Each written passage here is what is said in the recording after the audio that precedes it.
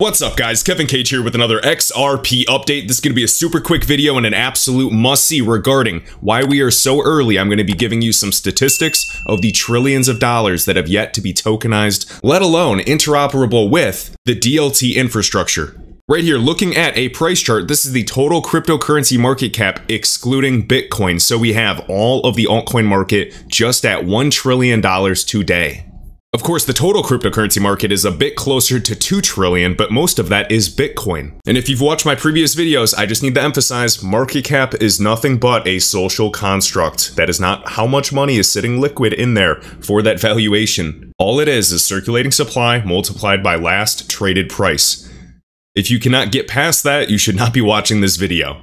I'd like to highlight Polysign.io in this video, of course. This needs no introduction, of course, has deep ties with the company Ripple and XRP and their founders. And then Standard Custody, which is their subsidiary and also happens to have a New York State Department of Financial Services banking charter. And I think we all understand why it's based in New York, because they are going after the financial capitals of the world capital markets. This is trillions of dollars. So let's dive into some stats. Show you the trillions of dollars, 100 plus trillion, by the way, has a high probability of flowing through digital assets, specifically XRP. First up, back in November 2020, I know the global stock market value rise to almost $100 trillion. There's been more money that's been printed than ever before. You have approximately $5 trillion parked in money market accounts, as many investors are still afraid of stocks, what a silly title for an article by CNBC. Nonetheless, stock markets continue to push at all-time high prices. Don't even get me started on that.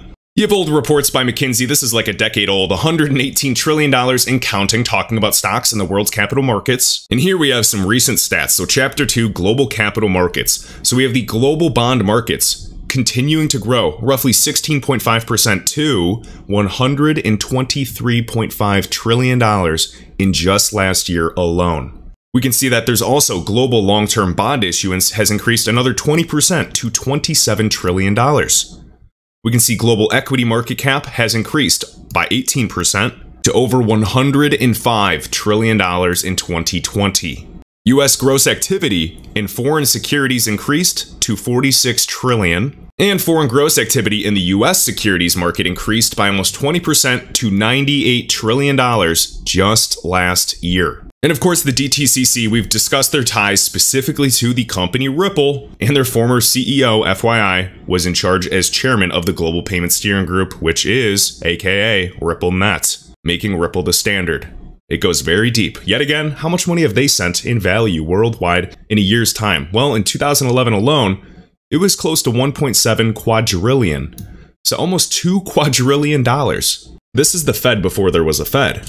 And now back in June 2020, with more money than ever before in the system, the DTCC processed over $2 quadrillion in securities. And yes, the derivatives market is massive. And on the low end, we're talking about maybe 700 trillion. Depository Trust and Clearing Corporation, providing the vast majority of clearing and settlement services in the US for securities. That is the biggest point I want to make here. Now, why on earth was the former CEO of one of the biggest organizations in the world not only added as an advisor to the company Ripple, Don Donahue, but also named chairman of the Global Payment Steering Group. Exactly. Now, I want to show this two minute clip of Jack McDonald. This is the CEO of Standard Custody. Just like they call XRP the standard, listen to what he has to say about XRP, the digital asset. And massive shout out to Digital Asset Investor for sharing this clip. And remember, the train has left the station was said by Rosie Rios, who also joined the board of directors for Ripple, and she was the 43rd U.S. Treasurer. Our founder is Arthur Britto, who is one of the three co-founders of Ripple, responsible for designing and developing the XRP ledger, which compared with Bitcoin basically uh, exceeds every measure around scalability, throughput, speed of transactions, um, uh, cost effectiveness, environmentally friendliness, et cetera. We also have David Schwartz, who is on our board and an investor uh, in the company and strategic advisor. He's the current CTO and chief cryptographer at Ripple. So these guys are real rock stars in their field. Uh, I come from a traditional finance background, having run a company called Conifer before a successful exit. We have Tim Keaney, whom you know, who uh, casts a very long shadow in this industry, ran all asset servicing at BNY Mellon for a dozen years So we really feel like we understand how traditional finance and capital markets work, but also uh, really on the cutting edge of cryptography and blockchain. So we bring that to bear. So standard custody and trust being sold to a, a major global custodian bank in a few years' time is, is, is one exit for your investors. It wouldn't shock me. Yeah. Whether it's fiat to crypto, crypto to crypto, or crypto to fiat, uh, and do that within the walled garden of our regulated and insured uh, custodial platform. So it's essentially an off chain or off exchange transaction, an OTC transaction, but you can do that in a trusted and insured manner. Capital markets, as we know it, is going to be transformed and is going to be digitized 10 years from now. The world is absolutely changing. Um, you know, all the analogies around the train has left the station, et cetera. It is undeniable in my mind that the world is going digital um, in terms of, of, capital markets specifically, and that um, asset servicing as we know it will fundamentally change. There's no reason we have to have T plus two settlement uh, in the U.S. Or other than having been built on legacy infrastructure and architecture, uh, there's also, I think, a vested interest in, in having a delayed settlement period. There's a lot of hands in the cookie jar who enjoy the float uh, over that time.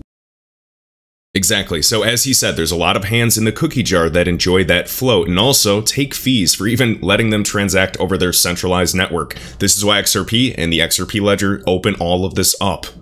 Now, before showing the next clip, and notice he was highlighting capital markets, the topic of today. Trillions of dollars. And what did he say?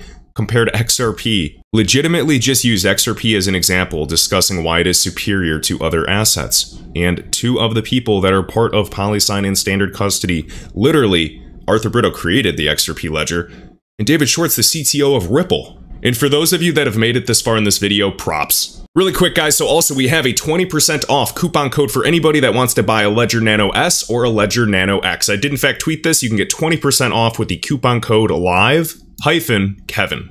Just wanted to point that out and store your crypto off exchanges in a secure and offline manner. As I've shared, I do have several of these, but you really just need one, and also, there are free software options like Trust Wallet, Atomic, Exodus, etc. So completely up to personal preference. Next up, guys, I want to show you this 26 second clip shared by Crypto Eddie. We have this gentleman right here discussing in this 26 clip, his name is David, R3 Venture Developer Lead. About 90%, and this is in quotes, 90% of the banking sector leverages Corda. The first settlement mechanism named was XRP.